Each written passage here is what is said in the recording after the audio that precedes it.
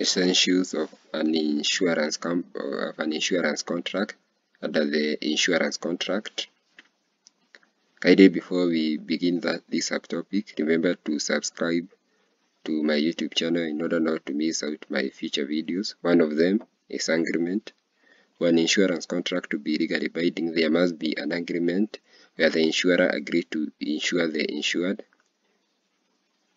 Another essential element is uncertainty.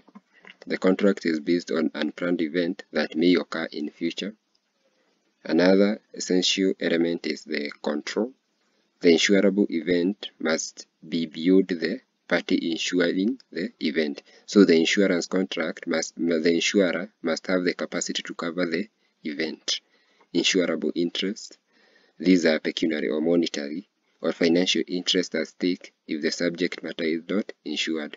So this is the danger which arises if the insured have not covered a certain event which is also exposed to risk.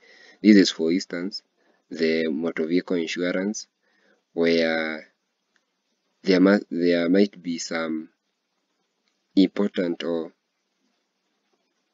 some useful or some important fact which have not been covered by the insurance by the motor vehicle insurance that might that might arise in case of an of an accident. Risk the insurance contract is based on covering any rotary or contingents that may occur in future. So the insurance contract is based on some risk which are exposed to the insured in future. Accidental or negligent loss insurance contract can only be affected by loss arising from accident or negligent loss based on omission.